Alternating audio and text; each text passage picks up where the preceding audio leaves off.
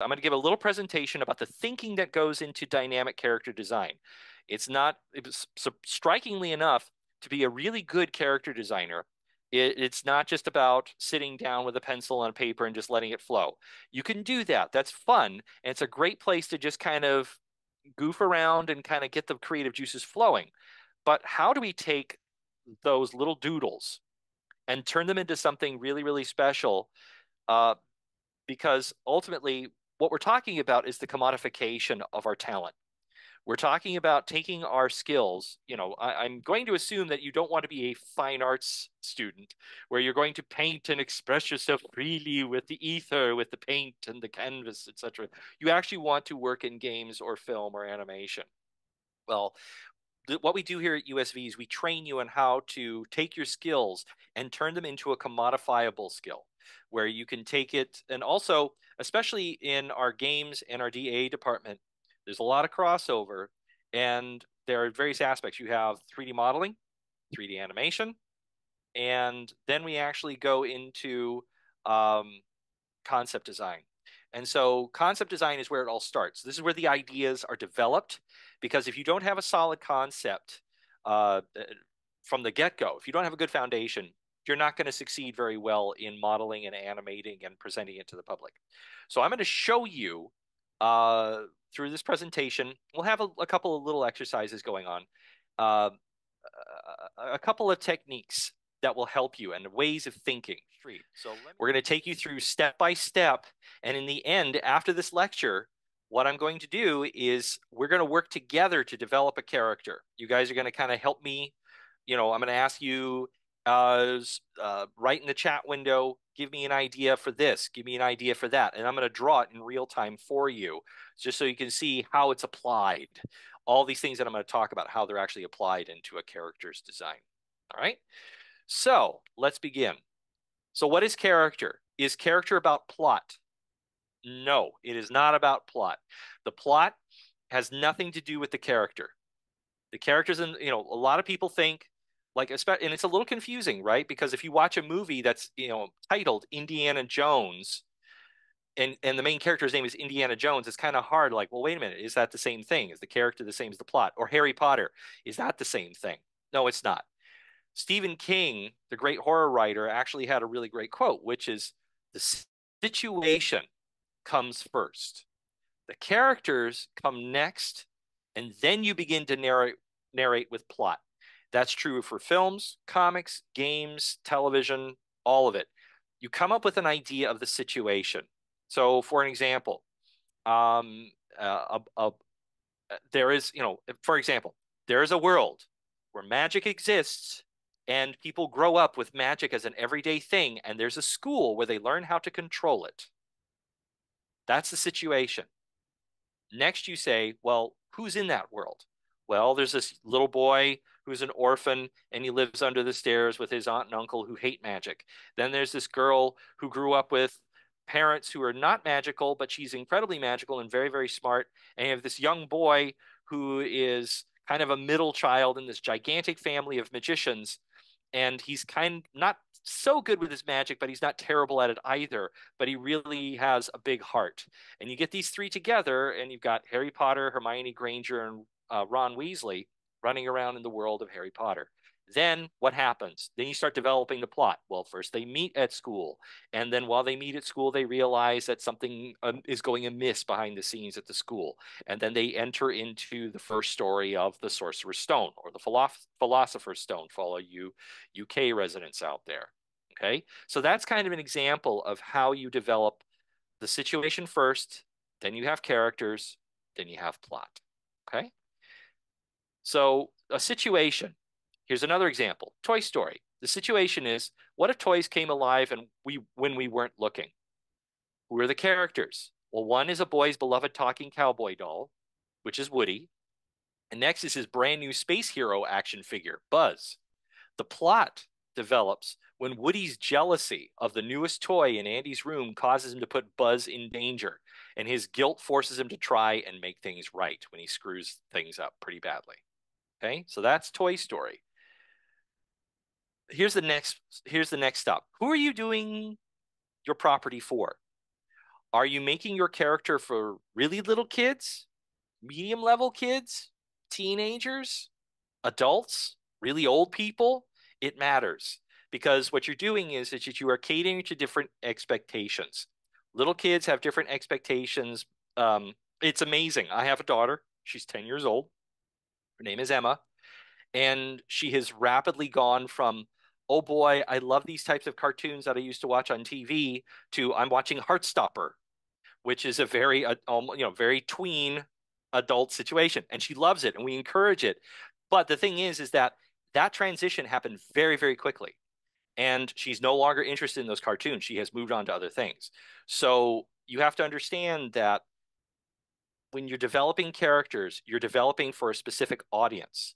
Sometimes you can actually reach a wide audience, and that's that's when you hit gold. Like Harry Potter, those those particular characters actually worked out well for a whole scope of different audiences because they found this sweet spot where they could everybody could find something that would appeal to them as opposed to rick and morty which is very adult oriented and we have foul mouth characters lots of poop humor etc that makes it a little bit difficult.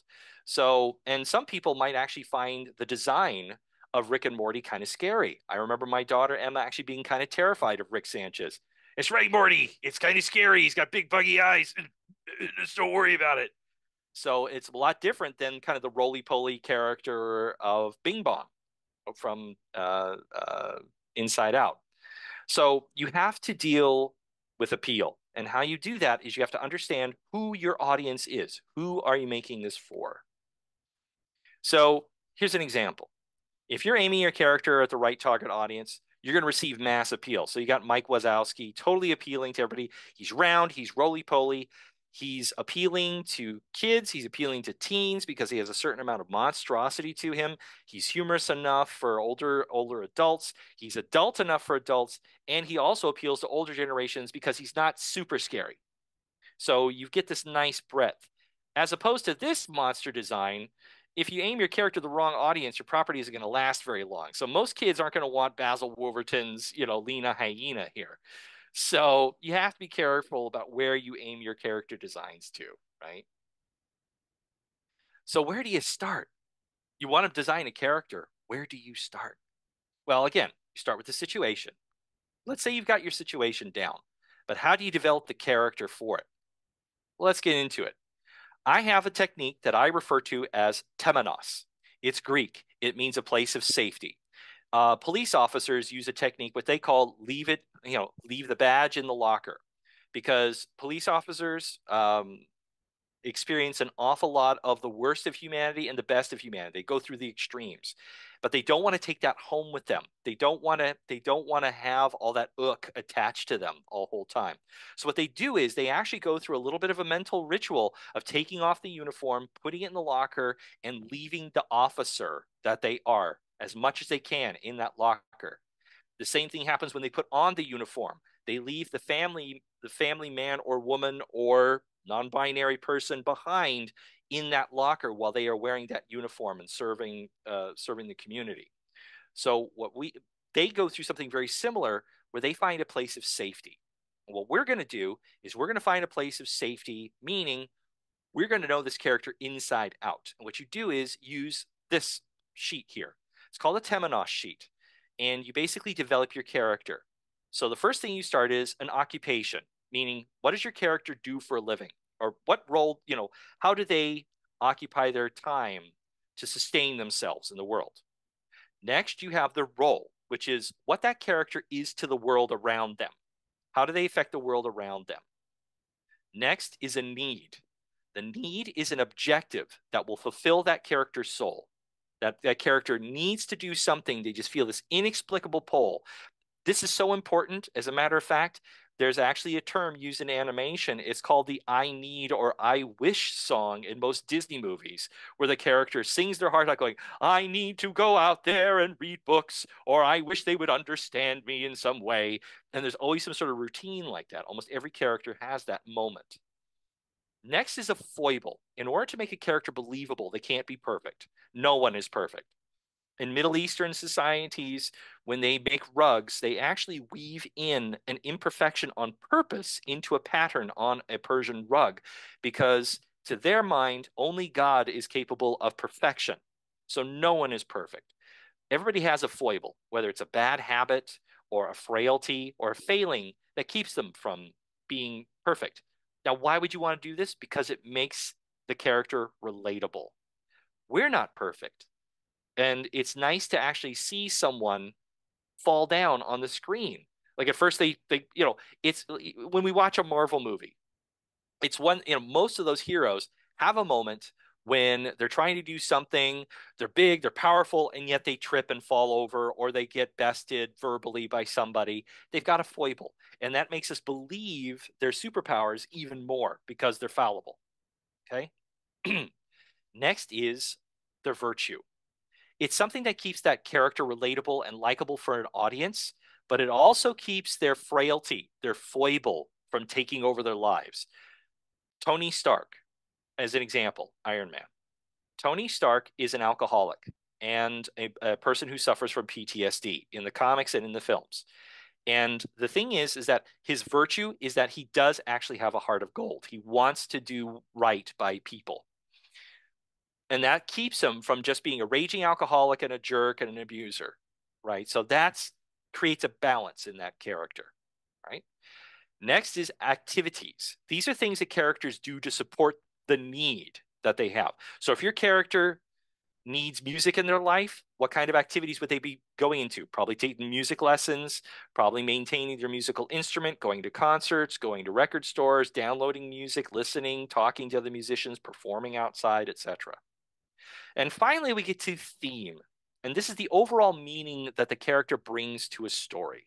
This is this is what they contribute to the the entire story. And I have an example here. If this is a little confusing, let's take Woody. Woody, his occupation is he's a toy. That's it, pretty simple. But what's his role? It's different. His occupation may be a toy, but his role is he's a companion to Andy, the kid who loves him. And he's a leader of the other toys in the toy box in Andy's room, right? What's his need? He's got two of them. One is to be loved, and he has a very deep seated one, which is to be Andy's favorite toy. And that's his need. Now, what's his foible? His foible is jealousy. He gets jealous really easy when a new toy shows up. You can see him. He actually has an, uh, in the first Toy Story movie, he has a little bit of a panic attack. Like, what's this? What's this? It's a new toy. It's all good. It's all good. I still have the place on Andy's bed. It's all good. And because of that, he's also a control freak. He wants to manage all the toys, make sure that they operate on schedule, especially in Andy's birthday, that kind of thing. But what's his virtue? Ultimately, he wants to do what's right. He wants to do the right thing. Even though his foible overcomes him every once in a while, like pushing Buzz out the window in Toy Story 1, ultimately, he's got to do the right thing. What are his activities? Well, he bosses other toys around. He organizes Andy's room into an into its life. He acts as the leader as much as needed. And the thing is, is he, here's here's one of his other activities. Not all activities are good.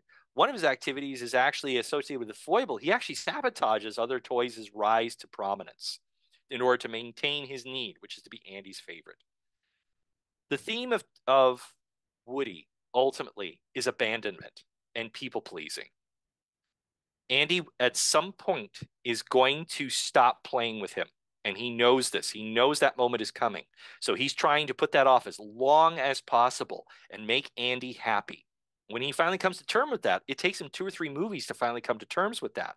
But through most of his existence, he's so worried that Andy is not going to want to play with him anymore and not and he will no longer be Andy's favorite toy that it pretty much defines everything about him and it also sets the scene it sets the theme and the tone for the rest of the story.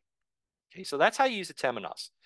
But we have to start with a character by building an archetype and i want to make sure that we draw a distinction here between archetype and stereotype. They are not the same thing okay? They sound the same but they're not the same. An archetype like uh, sanjay from sanjay super team from pixar it reveals a connection to human nature, a true general connection to human nature. Whereas a stereotype, it actually um, creates a, you know, it, it conceals the complexity of an individual by being too general. So Apu from The Simpsons is very much a stereotype, as opposed to Sanjay, who is an archetype. The archetype in this case would be son and father, dreamer, believer, etc. Right? That's an archetype, as opposed to this person, these types of people do this. This type of person does that. That type of person is like this. Those are all generalizations. And stereotypes don't even necessarily need to just boil down to racism or homophobia. They can be very subtle and very insidious. And we have to be careful about this because it leads us down a very slippery slope when it comes to developing characters for our stories, especially these days when we are actually trying to have a lot more equality and equity in our product. So how do we develop an archetype? Well, I found a wheel here that's actually kind of helpful here. As you can see, we've got we got 12 different major archetypes, their themes that go with them, and then they're kind of clustered together into sections of three. So you have the innocent, and their theme is safety. You have the sage, and their theme is knowledge. You have explorer, which is the theme is freedom. The outlaw, which is about liberation. The magician, which is about power. The hero is about mastery. The lover is about intimacy. The jester is about pleasure. The everyman is about belonging. The caregiver is about service. And the ruler is about control. And lastly, the artist is about innovation. And you can see these four major elements. These become plot devices later on. When you have the right characters, that can help you develop your plot. So if you have an innocent, a sage, and explorer in your group, at some point uh, like if if these characters are your main character your story is probably going to be about a spiritual journey if you have an outlaw a magician or a hero their pursuit and their theme is going to be about leaving a mark on the world making an impression becoming the best of the best right if you have a jester a lover an everyman their theme is going to be about connection to others and lastly when you have a caregiver a ruler or an artist it's about providing structure for the world, changing the world. I'm going to change the world in some special way by giving it some sort of new structure or revising an existing structure. Okay, so that's archetypes. Now, I'm going to complicate things a little bit more because I'm going to show you some examples. We're going to do an experiment. You don't necessarily have to draw this, but if you have a pen and paper, go ahead and grab it, grab a pencil, grab a piece of paper. You don't need to show it off. You don't need to scan it, whatever. But what we're going to do is we're going to draw a princess. And you could just do this in your head. Okay. So I'm going to give you guys three minutes and you're going to draw a princess. Okay. So I'm going to start the timer. And here we go. You got three minutes. Draw in your mind what an archetype of a princess will be. Um, and I'm going to switch over to my Photoshop because I'm going to ask you a question. Take a look at your princess. This is this is as far as you know this is you know to you your mind it is princess. But let me ask you a question. Did your princess look something like this? Hang on a second make sure i've got my settings going. here we go Oop. be nice if i had a color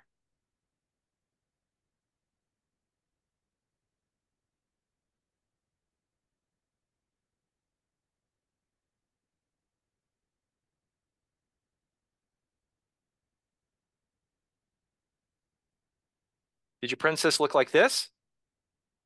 Probably not. That's not specific enough, right? Well, what's going to make it a princess?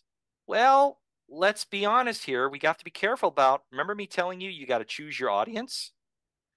So I think here's an experiment. Uh, maybe if you're from one part of the world or you've had a one particular cultural experience, maybe your princess looks something like this.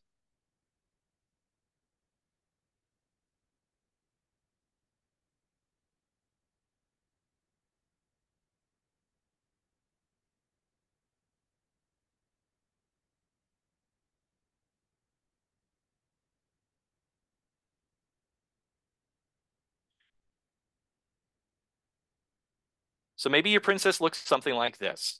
Okay, maybe, maybe not.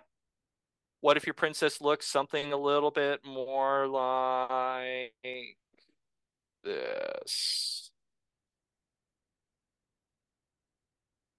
How about this one? Uh, oh, I know.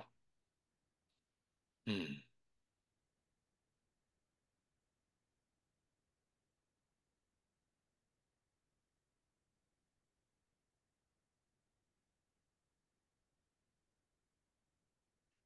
Maybe your princess looks something like this.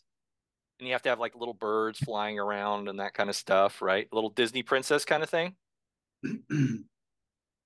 But what if here's another here's another question. What if your princess looks something more like this?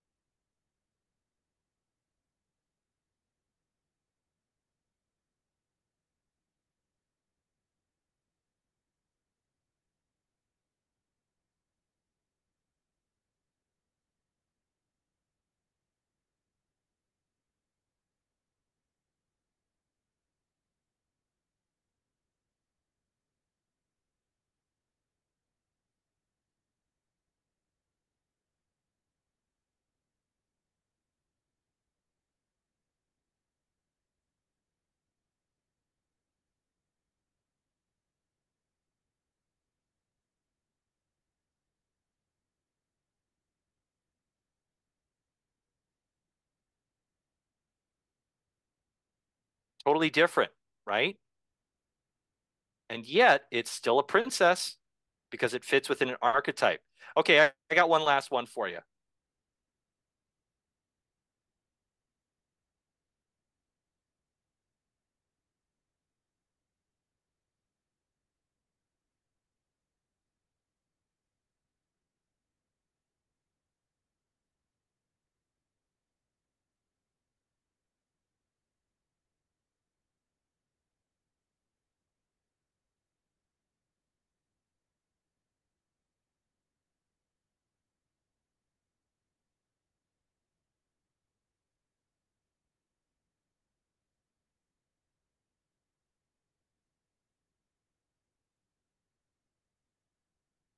Up, it's a total Princess Leia, right? Okay, so you've got all of these are different. How many of you had something close to one of these? I'm willing to bet, yeah, you something close, right? But not exact. That's the thing about archetypes. You avoid the specific because if you start adding more and more details, you get a mess, right?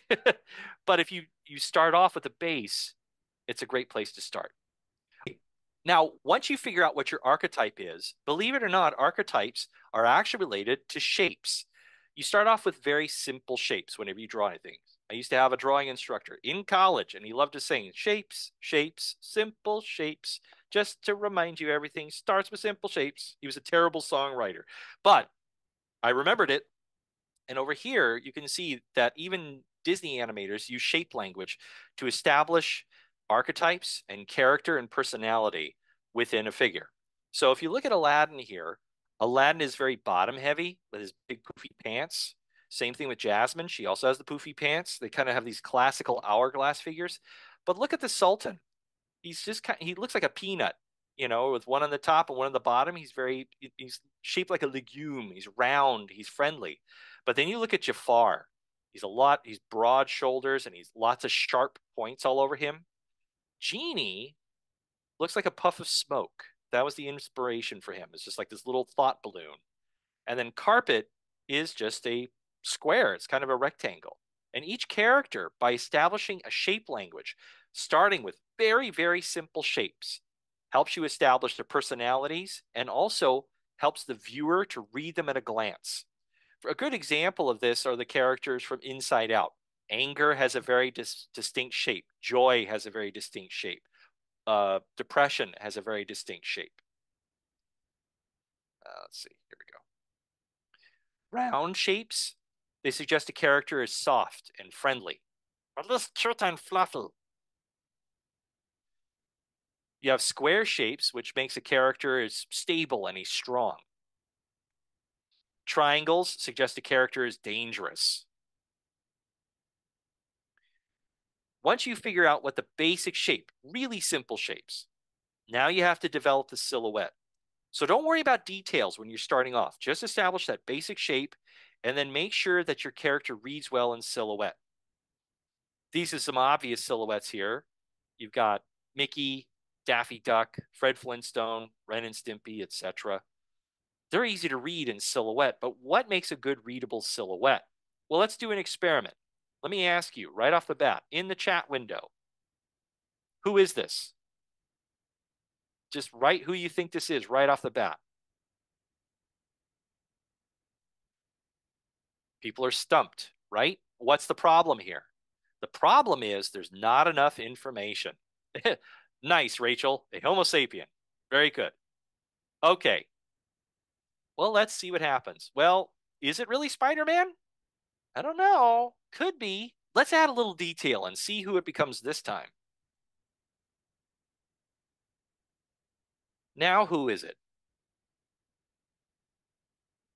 Is this enough detail to figure out who this is? Who do you think this is, guys? A tiefling? Okay, could be a tiefling. okay. Darcides, okay. Maybe it's Daredevil, could be Wolverine, but I don't think it's Wolverine. Maybe we need, need some more detail. Let's add some more detail to this and develop those shapes a little bit better. Now it's Wolverine, right? It's a lot more obvious. How about this one? Let's add some more detail.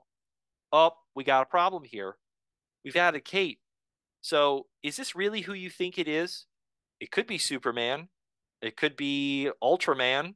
It could be a lot of characters there's not enough detail here. So you have to be careful when you start adding silhouette, you know, details to the silhouette. It could be the length of the cape. It could be the amount of cape. Sometimes it's even the shape of the cape. Like our next example. Maybe you put some scalloped edges and you add some claws. Now it's Batman. The Batman. Right?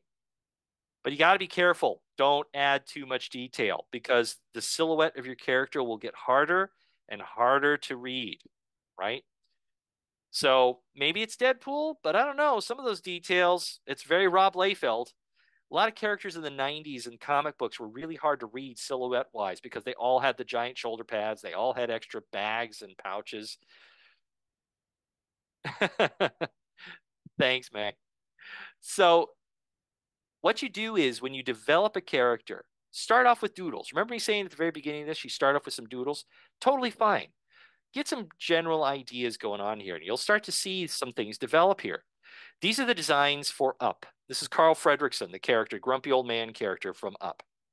And this is where it started. It started with these rough little doodles, okay? But over time, the animators started developing and getting more specific. They started going, okay, what makes an archetypical old man? Hunched over, kind of, you know, a wobbly neck thing going on, a big chin, a big nose, big ears, hair growing out of his ears, that kind of stuff. Very simple, very easy to read. It still has a very decent silhouette. But then you start developing it. One of the things that, that they did on Up is they decided to make Carl implacable. You know, like when you have Russell asking him, like, can I come in? Can I help you with anything? No. He's like, yell at him, no. And the whole point is that he wanted to be stable. He's like, I'm going to stay where I am and I'm not going to do anything different. And how they did that is they turned him into a cube. They made him square shaped. And Ellie was balloon shaped, his wife. And then Russell was also round and balloon shaped. So anybody who was trying to convince him to be free and happy and have adventure was round, but he himself was square until you finally get to your final designs that you can start developing a turnaround sheet and handing off to your animators and your modelers over at Pixar.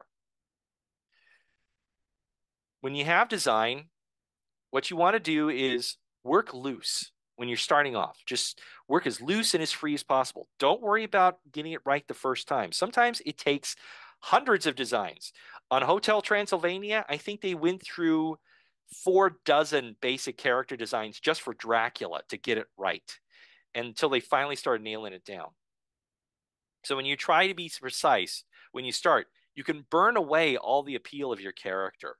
right? So this is an early sketch uh, by Chris Sanders of Lilo and Stitch. And you can tell that Stitch isn't quite right. He's still a little kind of creepy and animal like. He doesn't have all that appeal yet, but he's almost there. He's almost there, just, but he's working loose still. This is actually an early watercolor design that he used to pitch the movie at a luau. Break it down. Break your character down into basic shapes. It's highly unlikely that you'll be the only artist working on your project, unless you're doing your own comic book, right? So you could develop it, but it's good to have this anyway for reference. Break it down to basic shapes. Make it anybody easy for any, excuse me, easy for anybody to draw your character or model it. Your design process will take a lot of work. If you really want a good, solid character design, try to draw every possible angle of your character. This is going to be valuable in both 2D and in 3D animation. All right, so here's an example of Milo from Atlantis, in which the animator actually sat down and did a 360 degree turn on Milo. Pretty fascinating. Also, think of all the stuff that comes with a character. I mean, when you think of Mickey Mouse, what's the first thing you think of as far as stuff for Mickey Mouse? The red shorts with the buttons on the front, the yellow shoes, and the white gloves, right? Well, somebody had to design that. That was Ub Iwerks. But in other characters' cases, they need to come with their own stuff. So whether it's tribal masks or spears or laser guns or whatever it is, take care in designing them. Because if a character is designed one way, and they're covered in accoutrement that's designed another, it's going to ruin the fabric of that world. It's very easy to throw the audience's um, ability to believe in what you're doing. It's, it's very easy to throw it off. So you have to be careful with this. So refine it as much as you can. Define, refine, define, and get into construction this is the this is the level of detail that they would get into at the early Disney uh, studio cartoons. So here's Goofy, and you can see how they would break it down to basic shapes. They make all these notes like don't make the nose too big, don't do this with his upper lip, do this with his upper lip. Set up a list of do's and don'ts. Put them on your character design sheet saying don't ever draw my character like this. It'll ruin the look, etc., etc. Right? Okay. Also, visually explain how your character is going to emote. It's always good to have a character sheet that involves uh, expressions. So, how does a character laugh? How do they cry? How do they choke? How do they look surprised? How do they smile? Are there different types of smiles? You bet there are. So, here's a great one it's Jiminy Cricket from Pinocchio. I love this character expression sheet because there's so many variations of how he looks. I just adore it. So try to think how they move, how they act, how they emote, and how they think. Okay, next comes another another possibility, getting more details, which is color. Just like there's a shape language, there is a color language. Color says everything about your character. When you think of Pixar movies, they're generally not monochromatic and dull and gritty, right? They leave that up to the DCU. right? But Pixar tends to have bright, colorful characters. Like even in Brave, there's a lot of bright colors. I mean, all you have to call uh, bright colors. Think of Merida's hair and her eyes, right? She stands out. Even the bears stand out because of the color choices that they have in Brave. So let's let's do a little experimentation here about color. Color is as much about emotion as it is about aesthetics. It's not just about well, it looks cool because it's yellow. It's like, well, why does it look good? So let's do a quick little review on color. You have the primary colors, which are red, yellow, and blue. Those are the primary colors. Then you have what are called the secondary colors, which are the colors in between, direct, you know, perfectly in between all the primary colors. Those are violet, orange, and, um, okay, violet, orange, and green. Then you have the tertiary colors. I'm sorry. Then you have the tertiary colors, which are the colors in between a primary and a secondary color. So for example, you have red as a primary, orange as a secondary, and between them you have a tertiary color, which is red-orange. Then you have yellow-orange, yellow-green, blue-green, blue-violet, red-violet. Understanding this helps, uh, helps you define the color of a character and how that color can affect a character and how the audience perceives that character. Okay. So, believe it or not, we associate, human beings associate colors, all the different colors in the spectrum, to different emotions. So, if you look at this chart here, you can see that cranky actually has been registered as this kind of weird salmony pink character uh, color. Same thing with aggravated, which is a little bit redder. Upset is this kind of orangey uh, color. Angry is bright red. Disgusted is purple. Sad is this cerulean blue. Hurt is a pale blue. Afraid is kind of yellowish orange. Concerned is orange. Happy, believe it or not, tends to be bright green overall. These are colors that psychologists over time have compiled. And this chart is widely used in psychology to help children be able to express their emotions by pointing to the color. How do you feel? Point to the color in which you feel. And these results were compiled to make this chart that you see here. So this is compiled with thousands of little kids going, I feel sad, I feel surprised, I feel confused by touching the color on that chart. So if you have a character that you want to view him as purely heroic, those tend to be associated with primary colors reds, blues, yellows. Iron Man, bright red, bright gold, right? Ms. Marvel, red, blue, and yellow. She's got them all over the place. Wonder Woman, Superman, even Spider Man has that. But, but Spider Man's different because he has very bright colors. We'll get to that in just a minute here. If your character is a protagonist, um, you can still enhance their unpredictable nature by using secondary colors. So Hawkeye, he's unpredictable because you're not exactly sure what side he's on sometimes. So he's purple. Rocket Raccoon, he's unpredictable. He's ultimately a good guy. He's one of the Guardians, but he dresses in orange. And of course, the Hulk wears both purple and green because he's completely, you know, completely unpredictable. Hulk smash. If you want your character to be bigger than life, try bumping up the saturation of that character, like Yondu's Yondu's bright blue skin, or Spidey's bright red on his costume, or Gamora's bright red, uh, bright green skin. Sure, she's unpredictable, but making it bright green, it makes her mythic. If you want your character to be sinister and mysterious, add some shade to the color language. So Daredevil might be a, a red character in the comics, but they've dulled him down by taking, you know, adding so much shade to the colors uh, scheme of his costume that he's dark and mysterious with just a touch of red. Black Widow actually has a little bit of a of a blue to hue to her costume, whereas you've got um, Nick Fury here, and he actually has a little bit of an earth tone to him, but it's still very very black because it goes with his leather that he wears. It's very earth tony. If you want your character to be ethereal or otherworldly, tint your color palette to reduce the saturation. So you've got Moon Knight, which is a little bit more of the goldish hue, but it's very pale. Monica Rambeau, Captain version of Captain Marvel, she's black and white, but she's got you know very obviously this pearlescent white.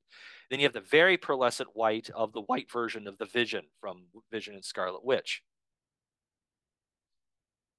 it's interesting to see the spectrum of characters from Disney animated fair, uh, animated films and where they fall on the, on the color wheel. If you look closely, you can see you've got Captain Gantu from Lilo and Stitch, Frollo, Yokai, Ursula, Mor'du, and Shan Yu. They're all blacks and grays. Whereas friendly, lighthearted, innocent characters like Duchess and Pongo here are all about bright grays and you know bright pale grays and whites. You have slightly untrustworthy characters here on the purple scale from Dr. Facilier, Governor Ratcliffe, Anna from Frozen. She's untrustworthy. Well, just ask Elsa. you know, there she's pulling shenanigans. So yeah, she is uh, slightly mischievous. She's also royal, which is I find that interesting that an untrustworthy characters tend to be also the same colors as royalty. Aladdin, wait, he's untrustworthy? Sure, he's a street rat. And he's also been lying to Jasmine the entire time, right? You have trust and loyalty, confidence and stability. You've got Stitch, Elsa, Cinderella, Hades. Whoa, wait a second. Hades? Well, he's not necessarily trustworthy. You can trust him to be a jerk, but he's also very confident in where he is in the world, etc., etc. So we can go through this chart at any time, but this just kind of gives you a little bit of an overview of how characters can be influenced by color. So, with all that in mind, we're going to create a character. Okay. We're going to create a simple character and we're going to go through our presentation step by step to kind of review uh, what our character is going to be like. So what I'm going to do is I'm going to start another layer in my Photoshop here real quick. Give me just a moment. There we go. There we go. And I will share my screen.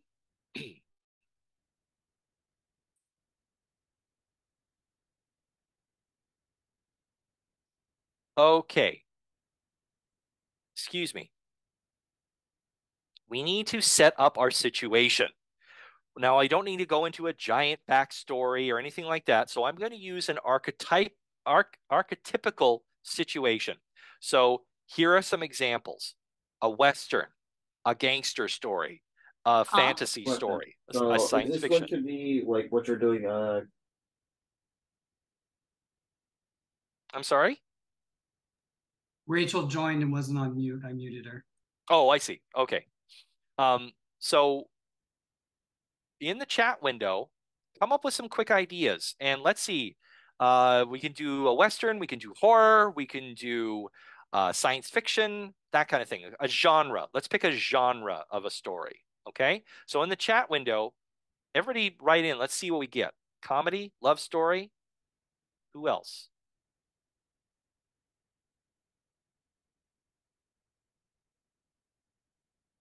Sci-fi, mystery.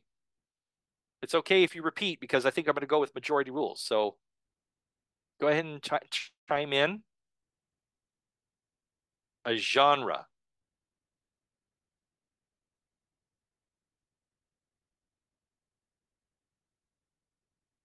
Comedy. Okay. Well, we got comedy. I'm waiting for like one or two more here. Type in the chat window what type of genre you think we should do. Comedy. Okay, so we're going to do a funny character. We're going to do something funny. Okay. What would be a good archetype for our funny character? Now, when we say archetype, let me remind you that an archetype is a very broad description. Here are some examples of archetype descriptors. A king, a princess, a detective, a clown, that kind of thing. Don't get too specific with it. A ninja, a samurai, that kind of stuff. Write a, in the chat window, everybody write a archetype that you would like to see this, this comedic character be. So write a archetype in the chat window, please.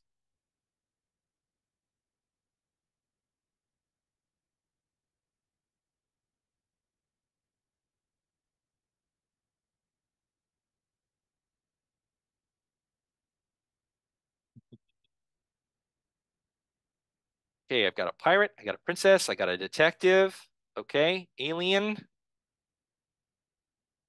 A bandit. Okay, cool. Anybody else?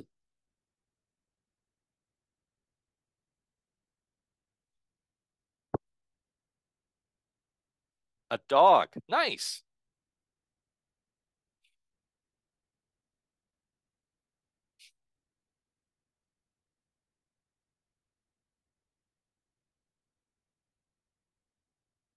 Anyone else? A archetype. All right. You know what? I think I'm going to combine a couple here.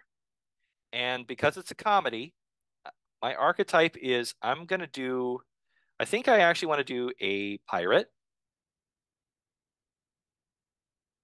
And I'm actually going to mix it with another archetype, which is I'm going to make it a dog. So we're going to do a pirate dog as our character. All right. So if we have a pirate dog, we have to do a little temenos here. What is, well, we already we already defined it with our archetype here. A pirate is not just an archetype, it's actually his occupation. So our occupation, he's a pirate. What does our dog pirate need? What what is the ultimate need of this dog pirate? What do what fulfills their soul? Treats. Great. I'll go with the first one that pops up. Treats. At least one peg leg.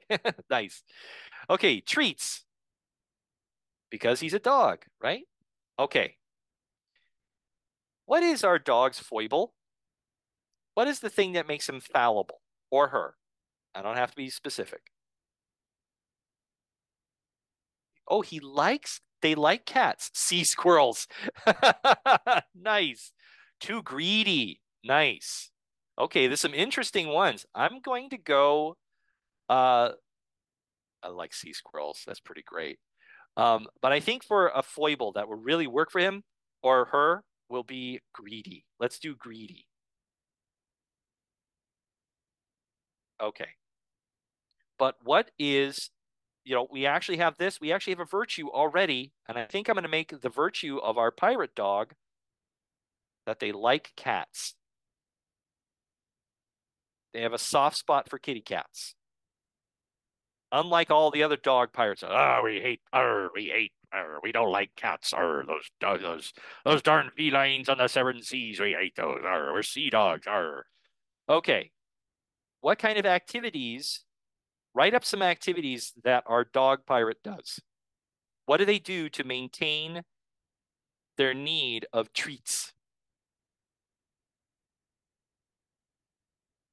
Write some activities. What would our pirate dog do to fulfill their need for treats and the seven seas and all that? And they're also greedy. What what would they do to support that? They beg. Okay. Give me another one. Another activity. Ah, digs for treasure. Takes food.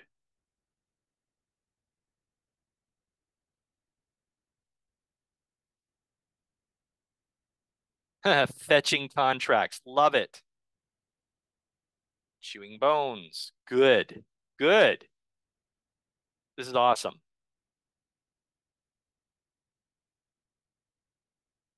Okay. All right. This is a really good starting point. But let me ask you something. Before we keep going any further, who is this for? What is our target audience? Is this for little kids, little teeny weeny kids? Is this for mid-level kids, like somewhere from the six six to twelve range? Is this for teenagers? Is this for adults? Is this for old people? Or is this a general audience? So write what you think our target audience will be in the chat window. Who is our target audience? Teenagers. Six to 12. Okay, so not for little, little kids. We can get a little weird. Okay, preteens. Cool. I'm digging this. I'm digging this. Okay. Kind of like a Cartoon Network kind of thing. Okay, excellent. So we're definitely going for tweens and pre preteens. Okay, let's just go for preteens. So with that comes some expectations. So we don't want to make him too babyish, but we also don't want to make him too scary or too gross or too much. It's we don't want to go too far with all the details, so forth. Okay. So if we want our character to be funny and likable, then let me ask you something. What is the shape language? What would the shape language of our dog pirate be? If he's going to be funny or she is going to be funny ovalish. Okay, I've got ovalish. Circles, round, round. Okay. Round. Round, roly-poly for a greedy little puppy, puppy pirate. Awesome. Okay, so now we have built, see, like an oval with a flat head. Rachel, I like how you think. We're going to roll with that. I'm going to totally roll with this. No pun intended. Okay, so here's the deal. Um, we have done all of this here. This is your foundation. You've done all the work. See how see how fast that actually went? You know, we had all this lecture It's a lot to remember, but when you ask these ask yourself these questions, you suddenly have a really good foundation for a character. So now, through the magic of Zoom, I'm going to take all of this really quick, and I'm going to do a quick sketch of our puppy pirate so you can kind of see. Hang on a second. There we go.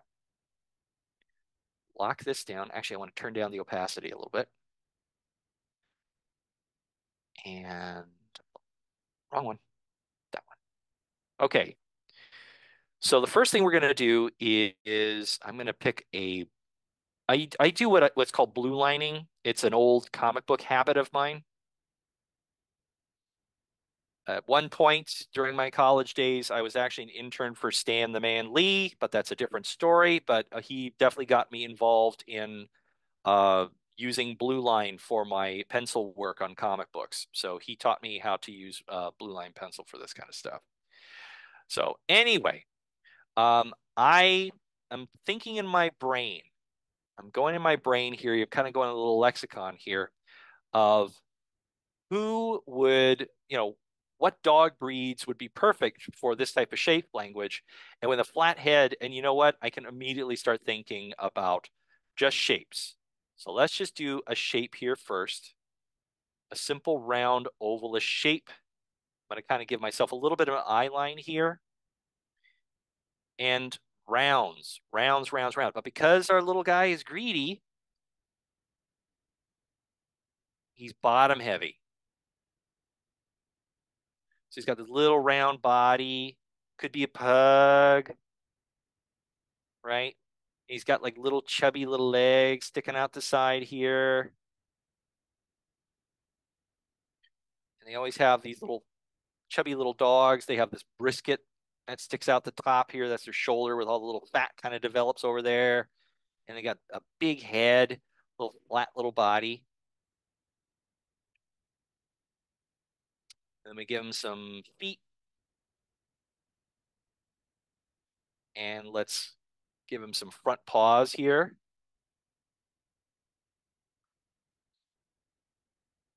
Little forelegs. And pugs are cool, but the only problem with, you know what the interesting thing about pugs is? They can be interesting, but the trick with pugs is that I love them. We'll give them a goofy tongue. We'll, we'll make a compromise. We'll go with a tongue, but I think I'm actually going to make our little guy a Frenchie. Frenchel, French Bulldogs. Whoa. And Frenchies have this very distinct muzzle.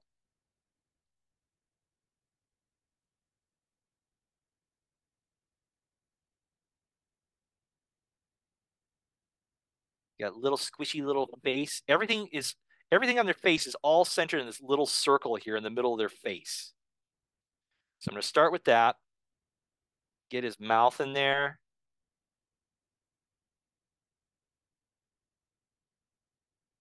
Let's get his eyes. And their eyes are a little bit easier. Their eyes also bug out a lot, a little bit like a uh, pug dog, but it's not nearly as extreme. Like pugs are way out there, but Frenchies still have this kind of look to it. And I think I'm going to actually have, there's his, he's got a little double chin because he's a greedy little puppy. And we're going to give him the big tongue. I think it was Rachel who, oh, it was uh, May who requested a big goofy tongue. There we go.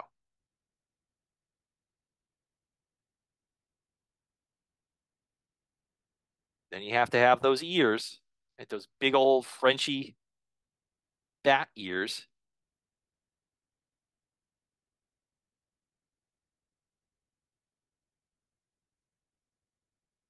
Okay, we've got our base laid in here.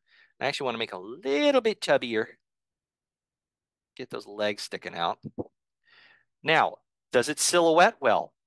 Yeah, it still reads as a dog, right? and they don't have long tails, right? Frenchies have got those little nubbins sticking out their butt. So you have to have a little boop, little nubbin sticking out there. But it's a little Frenchy. But now we're going to pirate this guy up a little bit. So let's pirate, let's, you know, actually I want to give him like little, Little canines in the in the bottom there, some in the top. Feel a little bit of drool coming off of that tongue. He's always had it lolling out there. Oh boy, I'm slow. Oh, but you know what's interesting about Frenchies? They've got these big bat ears that almost looks like a pirate hat right to begin with. So I think what I'm going to do is I'm going to give him, this guy, first off, him a big old pirate earring out of one of those giant ears of his. And then let's give on the opposite side, let's give him a little kerchief that hangs down maybe a little bit. Give him like a little pirate vest.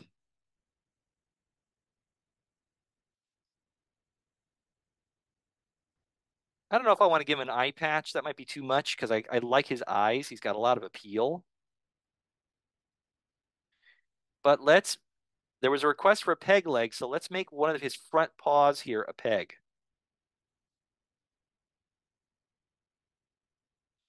Cool. Make it stand out. Now we can ink our little fellow. So I'm going to start another layer here real quick. And let's get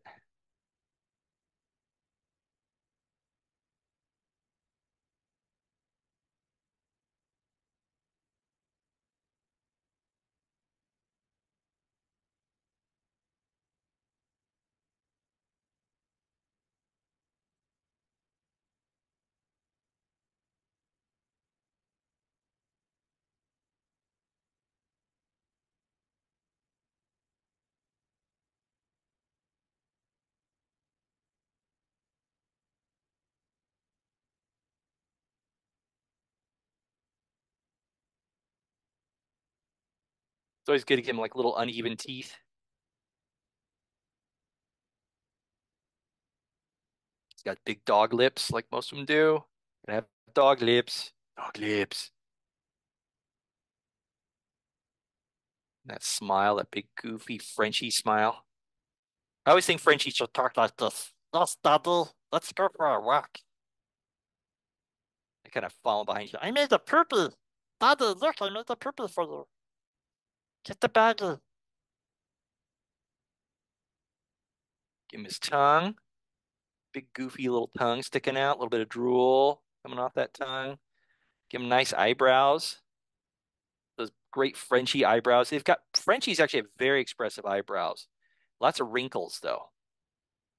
It's almost like his face is squeezed into that kerchief. A little knot right here for his kerchief. Let's make this kerchief a little ratty because he gets into he gets into little scrapes every once in a while. And let's, let's actually put a hole. He's had an accident. It's gone right through his ear. So he's got a little hole sticking through his ear. And then we'll give him a, uh, an earring.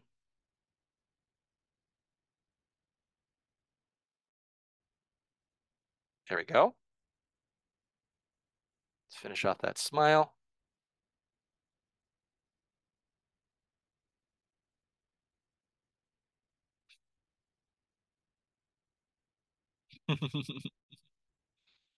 little ripped up vest that he wears instead of a dog collar.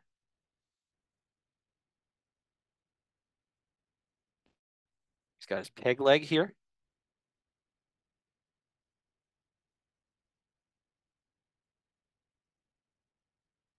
Go. He's got his tummy, got a little Frenchy tummy. He's a little greedy gut, so he's a little chubby little guy. He's pretty cool. He's got little feet sticking out on the sides there. He's got his little nubby butt there. This is one of the dogs that when he lays down, he just spreads out like a carpet. He's a big, lazy little pupper. Give him nice little chubby feet little chubby paws. You draw on a Frenchie, you're basically drawing a human baby. It's the same proportions.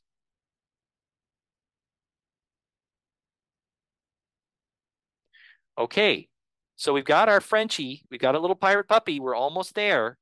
What's the next step? Well, we have to develop a, a, uh, a color language for this guy, right? So let's do a little color language really quick. Let's just do a quick lay-in for color just so we have an idea of how he's gonna how he's gonna look. So I'm to turn this into a multiply layer. If he is unpredictable, is he an unpredictable guy or is he a predictable character? Type in the chat window. Is he predictable or unpredictable?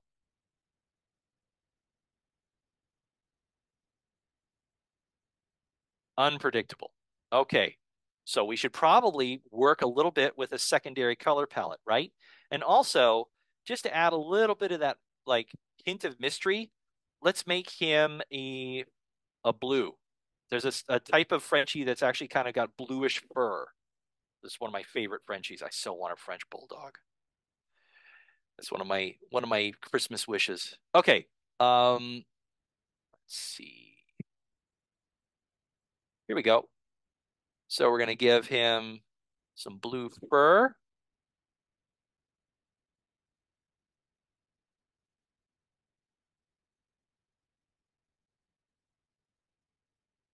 And all of his little feet sticking out here.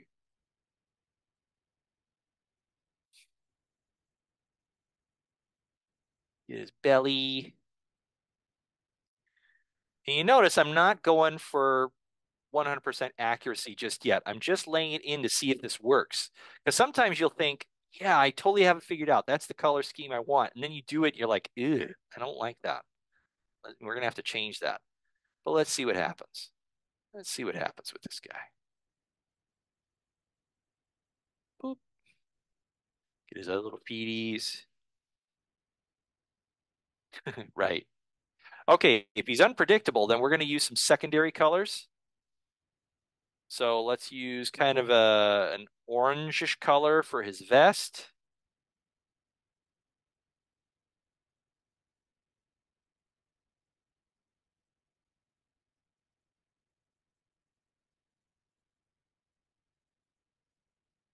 Kind of earth tony. Let's use a slightly darker thing, darker color for the peg. Little peg leg. His eyes should probably be brown.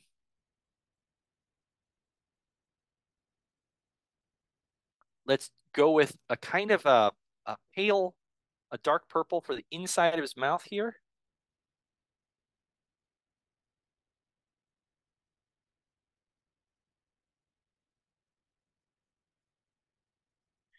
Let's go with a pale for kind of a pink color for that same color for his tongue. Let's also do it for his nose. He's got a pink nose. One of those types of Frenchies. And let's get a paler gray in there for his muzzle so it stands out and it reads a little bit easier for him.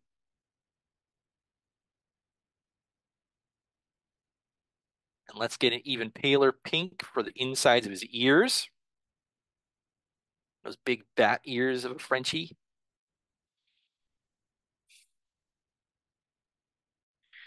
And let's get some gold on his, we're almost done. Get some gold on his earring.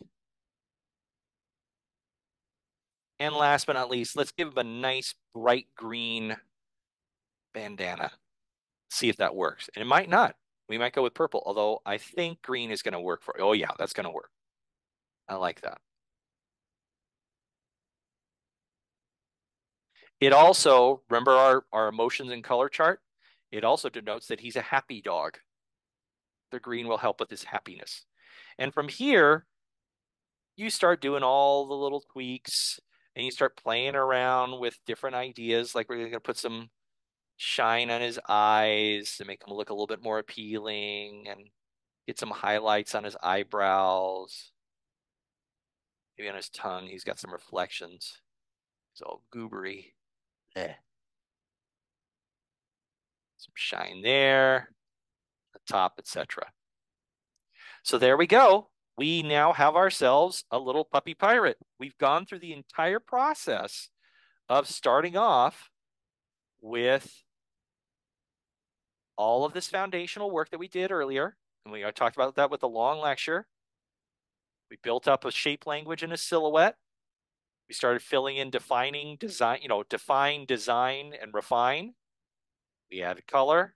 We added those extra little bits of detail, and now we have a quick preliminary, but very appealing little little puppy pirate, a little Frenchy little French pirate puppy.